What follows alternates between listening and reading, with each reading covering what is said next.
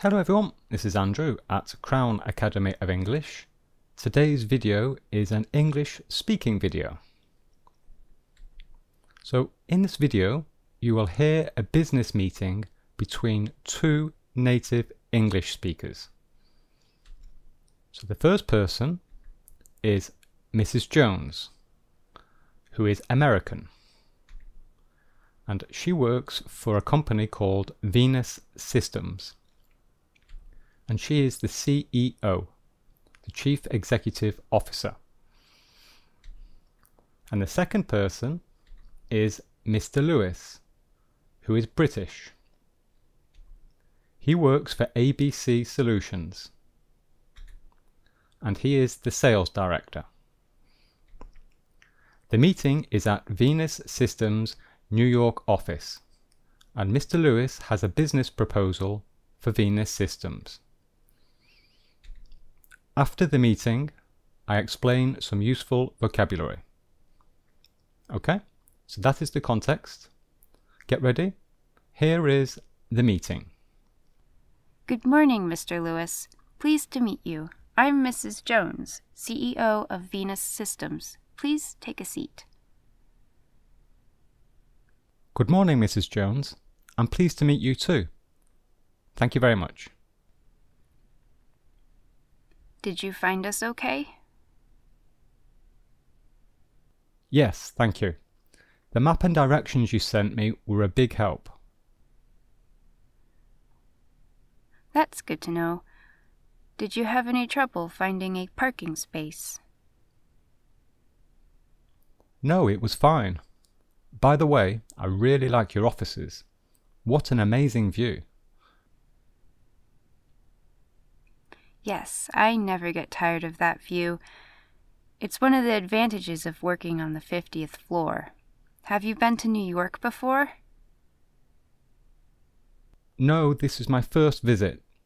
It's incredible how big everything is. I know what you mean. I've lived here for five years and I still feel very small. Well, thank you very much for agreeing to meet me today. You're welcome. I have read the email you sent us, so you would like us to sell your products in the USA. Please tell me a bit more about your company. ABC Solutions is a British software company founded in 2010. Our head office is in London, and we have a second sales office in Manchester, in the north of England. So you have two offices. How many employees do you have in total? We currently have 143 employees across both offices, and we expect that to grow to 160 before the end of the year. It sounds like you're growing very quickly. What positions are you recruiting for? Those new positions are in sales, IT development, and tech support. Tell me briefly about your company's products. We develop and sell accounting software to small businesses. The product, which is called ABC Accounts, tracks expenses, sends invoices, manages income, generates balance and income statements, and other reports. And how can Venus Systems help? We would like Venus Systems to sell our software in the USA. We understand that you already sell networking products and services to small businesses. We believe your clients would also be interested in our products. I see you've done your research. It's true that we have a lot of existing clients who could be interested in some accounting software. I would like to schedule another meeting with you, Mr. Lewis, to discuss this in more detail. In fact, this will probably need several meetings. How long are you in New York for? I'm here for at least a week, although I could extend my stay if necessary. How about tomorrow morning at 10 a.m.? Yes, that's fine for me. What would you like to discuss? I'd particularly like to discuss prices, payment terms, technical support, and training. That's fine. I agree that we'll probably need several meetings to discuss all that. Let's have the first meeting tomorrow, and then we can play it by ear after that. Good idea. Well, thank you very much for your time, Mrs. Jones. I look forward to seeing you tomorrow. Well, thank you for coming all the way from London. I'll see you tomorrow. Goodbye. Goodbye. Okay, now let's look at some vocabulary.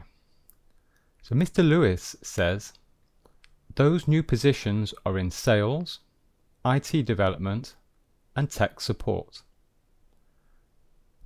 So IT, what does this mean? Well, it is in fact an abbreviation and it means information technology. IT is information technology. And it simply means it's the field of computing. So the subject of computing. Example. We can say, I work in IT. So this means I work in the computing department or I work in the field of IT. My job is in computers. Another example, Mark is studying IT at university. Okay? So IT development here, this in fact means computer development which means computer programming. So they were recruiting some computer programmers. Tech support. Tech support. This is an abbreviation for technical support. And if you have a problem with a computer or some software, then you call tech support for help. So it's sometimes called a hotline or a helpline. Example. My computer won't start. I'm going to call tech support. Okay? Another word was said by Mrs. Jones. So she said, I would like to schedule another meeting with you, Mr. Lewis. Schedule. And in fact, this has two different types of pronunciation.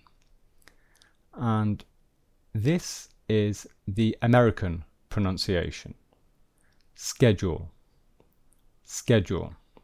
Okay?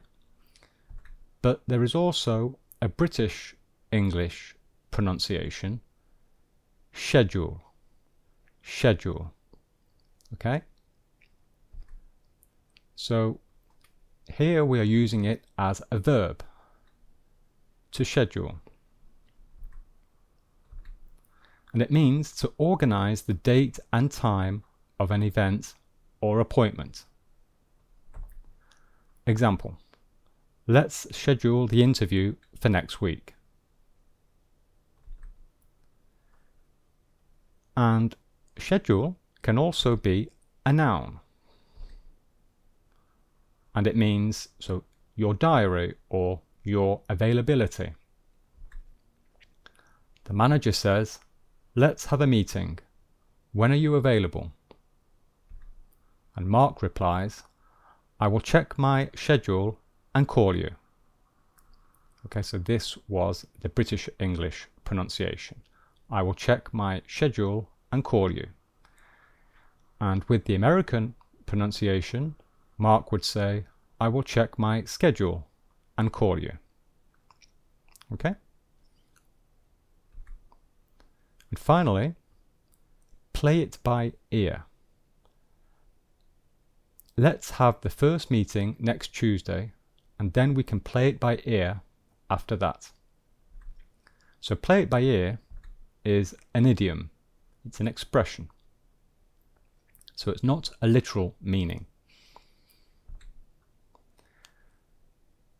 And the real meaning is to decide how to manage a situation as it develops. So in other words, we are flexible. We are not following a strict plan. Let me give you a better example. So the context is Jane and Mark are going to the cinema. Before the film, they have this conversation. Mark asks, Would you like to go for a meal after the film? And Jane replies, I don't know. Let's watch the film and then play it by ear. So Jane is saying, um, let's not follow a strict plan. Let's not decide now.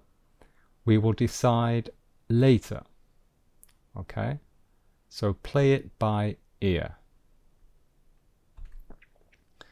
And the origin and literal meaning of play it by ear,